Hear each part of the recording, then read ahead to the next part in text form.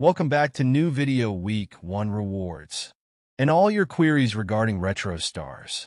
Hey everyone, we're diving into another amazing adventure today, and you won't want to miss a second of it. Hit that like button and subscribe for more epic content. Let's get started. First is Retro Stars Exchange Pack 94 to 101. Let's see what we get here. Next is Retro Stars Limited Exchange Pack. Let's see what we get here.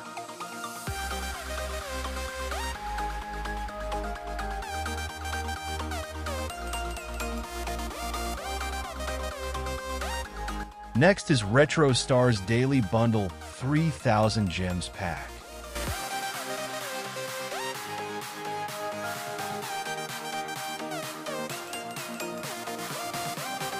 So here I will resolve your all five queries one by one. First question will get retro tickets daily from level 1, or it's one time only. So here if you check these tickets are only one time thing. So from second time, you will get only 1,000 coins, so no need to play again. Next question, when is level 2 will unlock? So level 2 will unlock on September 5th. Which reward should we choose? Week 1 or Redeem Machine rewards? Just check here what people have got on this Redeem Machine pack, so you should avoid at all costs. So you should choose for Week 1. Next question, what reward should we get from here? Only these two premium rewards. Let's get Mascherano first. And then let's open 97 to 100 Retro Stars Rewards Pack. Let's see what we get here.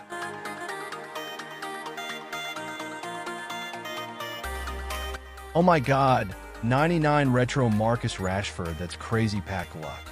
Basically, this will help you to unlock Super Reward as well. Other rewards are not important, don't go for them. So you can save tickets for week 2, 3, and 4 premium rewards. Now finally question, when will week 2 rewards will unlock? They would on September 5th.